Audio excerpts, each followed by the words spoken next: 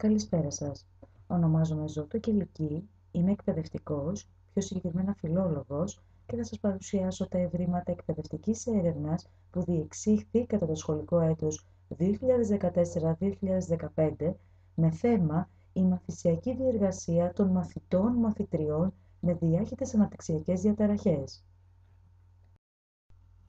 Βασικό σκοπό της παρούσας εκπαιδευτικής έρευνας αποτελεί η ανάδυση της σημασίας των αναλυτικών προγραμμάτων σπουδών της ειδικής αγωγής και εκπαίδευσης του ελληνικού δημόσιου εκπαιδευτικού συστήματος, σύμφωνα με τη διδακτική εμπειρία εκπαιδευτικών που εργάζονται και υπηρετούν σε σχολικές μονάδες του νομού Ιωαννίνων, εστιάζοντας κυρίως στις υιοθετούμενες εκπαιδευτικές μεθόδους, τεχνικές και μέσα που χρησιμοποιήθηκαν κατά τη διδακτική διεργασία. Εκκινώντας, οφείλουμε να ορίσουμε την έννοια της ειδική αγωγής και εκπαίδευσης. Ω ειδική αγωγή νοείται η εκπαιδευτική βοήθεια που παρέχεται στα παιδιά με ειδικές μαθησιακές δυσκολίες, με ειδικές εκπαιδευτικές ανάγκες. Η βοήθεια αυτή παρέχεται βάσει ενός σχεδιασμένου εκπαιδευτικού προγράμματος που οργανώνεται κατά τέτοιο τρόπο ώστε να μπορούν να αντιμετωπιστούν οι ειδικές εκπαιδευτικές ανάγκες κάθε μαθητή. Η ειδική αγωγή προσφέρεται όχι μόνο στα ειδικά, αλλά και στα σχολεία της τυπικής εκπαίδευσης. Αποτελεί στην ουσία την εξατομικευμένη διδασκαλία που υλοποιείται σε παιδιά με ειδικές μαθησιακές ανάγκες είτε στο τμήμα ένταξης είτε στην τυπική τάξη. Η συστηματική ανάπτυξη και οργάνωση της ειδικής αγωγής και εκπαίδευσης στην Ελλάδα έχει ήδη εισέλθει στην τρίτη δεκαετία συντελώντας τη διαφοροποίηση της εκπαιδευτικής πολιτικής, την ευαισθητοποίηση του κοινωνικού συνόλου και την ανάληψη συγκεκριμένων δράσεων από τους αρμόδιους φορείς για τα παιδιά με μαθησιακές ανάγκες, διαφέροντας σημαντικά από την ισχύουσα ιδρυματική και φιλανθρωπική αντιμετώπιση τους, όπως ίσχυε τουλάχιστον έως τη δεκαετία του 1970. Όσον αφορά το θεσμικό πλαίσιο της ειδικής αγωγής και εκπαίδευσης στην Ελλάδα, οφείλουμε αρχικά να αναφερθούμε στον ιδρυτικό νόμο της ειδικής αγωγής, στον νόμο 1143 του 1981, ο οποίος καθιέρωσε την ειδική αγωγή ως τομέα του εκπαιδευτικού συστήματος. Ακολούθησε ο νόμος 1566 του 1985, ο οποίος επιχείρησε μια τομή στο χώρο της ειδικής αγωγής. Με μια σειρά από άρθρα καταβλήθηκε προσπάθεια ώστε το σύστημα της ειδικής αγωγής να ενταχθεί στο κυρίως εκπαιδευτικό σύστημα και να μην είναι αποκομμένο από αυτό. Ωστόσο, θεμελιώδη νόμο για την ειδική αγωγή αποτέλεσε ο πιο πρόσφατος νόμος, ο 2817 του 2000, μέσω του οποίου επιχειρήθηκε μια πραγματική τομή στο χώρο της ειδικής αγωγής. Ο νόμος αυτός στην ουσία καθιέρωσε θεσμούς και καινοτομίες τόσο σημαντικές που αποτελούσαν ελπίδα και απέτηση όλων των ατόμων με αναπηρία, των γονιών τους, των εκπαιδευτικών της ειδικής αλλά και της γενικής εκπαίδευσης. Σαφώς, Εξαιρετικά σημαντικές ήταν και οι αλλαγές και βελτιώσεις του νόμου 3699 του 2008, περιλαμβάνοντας τα προγράμματα συνεκπαίδευσης, μετονομάζοντας τα ΚΔΑΗ σε κέντρα διαφοροδιάγνωσης, διάγνωσης και υποστήριξης ειδικών εκπαιδευτικών αναγκών, σε ΚΕΔΙ δηλαδή, εισάγοντας τον όρο διαφορική διάγνωση ή διαφοροδιάγνωση αντί του πρώτερου διάγνωση.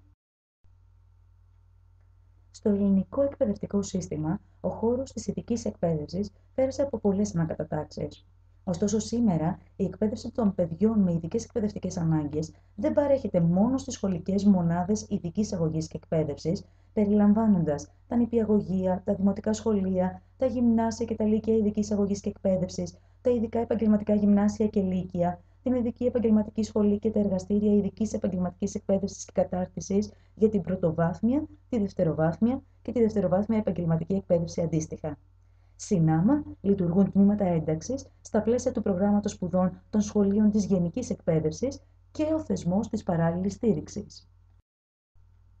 Μάλιστα, οι δύο αυτές μορφές συνεκπαίδευσης και ένταξης των μαθητών με ειδικές μαθησιακές δυσκολίες υπηρετούν τη σύγχρονη τάση της παιδαγωγικής η οποία στηρίζεται στις αρχές της ένταξης και της συνεκπαίδευσης των παιδιών με ή χωρίς ειδικές ανάγκες, καθώς και στη δημιουργία ενός σχολείου για όλους, όπου θα εκπαιδεύονται όλα τα παιδιά και δεν θα διακρίνονται μεταξύ τους εξαιτίας της νοητικής, γλωσσικής, σωματικής ή συναισθηματικής τους ιδιαιτερότητας. Στη βιβλιογραφία Υπάρχουν ποικίλοι ορισμοί σχετικοί με τον όρο πρόγραμμα σπουδών, εκπαιδευτικό πρόγραμμα, πρόγραμμα διδασκαλίας ή αναλυτικό πρόγραμμα σπουδών, οι οποίοι χρησιμοποιούνται για να περιγράψουν ένα διάγραμμα ή έναν κατάλογο από επιδιώξεις και σκοπούς που αφορούν την οργάνωση και τον τρόπο διδασκαλίας της διδακτέας ύλης, ανεκπαιδευτική βαθμίδα, σχολικό οργανισμό, τάξη και γνωστικό αντικείμενο. Στην ουσία, τα αναλυτικά προγράμματα σπουδών προβάλλουν τις κατευθυντήριες γραμμές και προσδιορίζουν έμεσα ή άμεσα τόσο το περιεχόμενο της μαθησιακής διεργασίας, περικλείοντα τις διδακτικές μεθόδους και τεχνικές, όσο και τις ανατροφοδοτικές διαδικασίες, την αξιολόγηση δηλαδή του αποτελέσματος της διεργασίας αυτής. Πέρα όμως από τα κύρια χαρακτηριστικά των αναλυτικών προγραμμάτων σπουδών, οφείλουμε να αναφερθούμε και στα είδη τους, που ποικίλουν ανάλογα με τα περιθώρια πρωτοβουλίας των εκπαιδευτικών και τις δυνατότητες προσαρμογής τους σε επιμέρους συνθήκες, αλλά και τη στοχοθεσία τους. Το Παιδαγωγικό Ινστιτούτο εκπώνησε την τελευταία δεκαετία ενιαίο διαθεματικό πλαίσιο και νέα αναλυτικά προγράμματα σπουδών, προσπαθώντας να επιτευχθεί η εναρμόνιση των προγραμμάτων σπουδών της γενικής εκπαίδευσης με τα καινούργια δεδομένα της κοινωνίας της πληροφορίας και της γνώσης, της πολυπολιτισμικής κοινωνίας στην οποία ζούμε, αλλά και της αναγνώρισης των ειδικών εκπαιδευτικών αναγκών και των δικαιωμάτων του υπάρχοντο μαθητικού δυναμικού για ένταξη και ισότιμη εκπαίδευση σε ένα ενιαίο σχολείο. Τη σύνταξη δε και το συντονισμό των αναλυτικών προγραμμάτων για κάθε ξεχωριστή κατηγορία μαθητών που αντιμετωπίζουν ειδικές εκπαιδευτικές δυσκολίες ανέλαβαν εξειδικευμένοι επιστήμονε του χώρου της ειδικής αγωγής και εκπαίδευσης. Είναι απαραίτητο όμως να αναφερθεί ότι τα διαφοροποιημένα αναλυτικά προγράμματα σπουδών της ειδικής αγωγής και εκπαίδευσης, ακολουθώντας το πλαίσιο λειτουργίας των αναλυτικών προγραμμάτων της γενικής εκπαίδευσης, παρουσιάζουν επίσης ποικιλία τόσο στη λειτουργία τους, όσο και στα κύρια χαρακτηριστικά τους, στοχεύοντας δηλαδή στην αποτελεσματική μαθησιακή διεργασία μέσω της εκπλήρωσης της βασικής λειτουργικής στοχοθεσίας τους. Στην εν λόγω έρευνα θα εστιάσουμε στους μαθητές με διάχυτε αναπτυξιακές διαταραχέ και κυρίως με αυτισμό. Αν και ο όρος διάχυτε αναπτυξιακές διαταραχές χρησιμοποιείται συνώνυμα με τον όρο διαταραχή του φάσματος του αυτισμού, στην πραγματικότητα είναι ευρύτερος και περιλαμβάνει και άλλες διαταραχές εκτός από τον αυτισμό. Σύμφωνα μάλιστα με το ταξινομητικό εγχειρίδιο της Διεθνούς Στατιστικής Ταξινόμησης Νοσημάτων και Συναφών Προβλημάτων Υγείας, του ICD-10, της Παγκόσμιας Οργάνωσης Υγείας, το οποίο αποτελεί μια κωδικοποίηση των νοσημάτων και συνάμα των διάχυτων αναπτυξιακών διαταραχών, οφείλουμε να αναφερθούμε ότι σε αυτές περιλαμβάνονται ο αυτισμός της παιδικής ηλικίας ή αλλιώς η αυτιστική διαταραχή, ο βρεφικός αυτισμός, η βρεφική ψύχωση και το σύνδρομο Κάνερ. Ο άτυπος αυτισμός που αποτελεί μια άτυπη ψύχωση της παιδικής ηλικίας και συνδέεται στενά με την νοητική καθυστέρηση, στην οποία υπάρχουν αυτιστικά χαρακτηριστικά. Το σύνδρομο RED.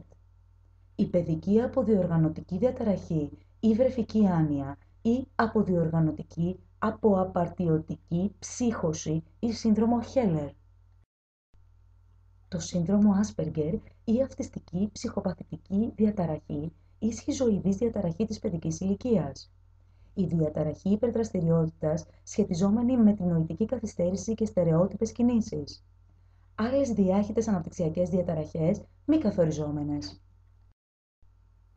Ο αυτισμός, ως μια σύνθετη νευροβιολογική διαταραχή που δεν έχει ακόμα πλήρως ανοιχνευτεί, ερμηνεύει την ανομοιογένεια των ψυχολογικών και γνωστικών χαρακτηριστικών των ατόμων με αυτισμό. Η πολλαπλότητα και η ιδιαιτερότητα των γνωρισμάτων και συμπεριφορών των μαθητών με αυτισμό υπογραμμίζει την ανάγκη προσαρμογών των αναλυτικών προγραμμάτων σπουδών της γενικής αγωγής, ώστε και τα παιδιά με αυτισμό να έχουν πρόσβαση στα εν λόγω αναλυτικά προγράμματα σπουδών. Για την επιτεύξη αυτού του στόχου, είναι αναγκαίο να γίνουν κατανοητές οι ιδιαιτερότητες των μαθητών με αυτισμό και να προσδιοριστούν με σαφήνεια τόσο οι στόχοι όσο και οι διδακτικές μέθοδοι που ανταποκρίνονται καλύτερα στις εκπαιδευτικές τους ανάγκες.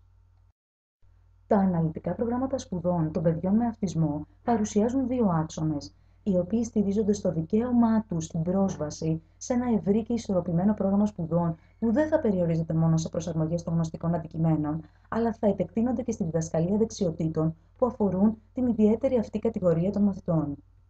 Τέλος, τα αναλυτικά προγράμματα σπουδών για τους μαθητές με αυτισμό είναι σκόπιμο να ανταποκρίνονται στις ιδιαίτερες και ποικίλες γνωστικές τους ανάγκες, να αξιοποιούν στο μέγιστο δυνατό βαθμό τις ικανότητες και τα προσωπικά τους ενδιαφέροντα και να επικεντρώνονται στη διαμόρφωση σκεπτόμενων μαθητών που θα είναι σε θέση να επιλύουν προβλήματα και όχι μόνο στην απόκτηση αποσπασματικών γνώσεων ή λειτουργικών δεξιοτήτων.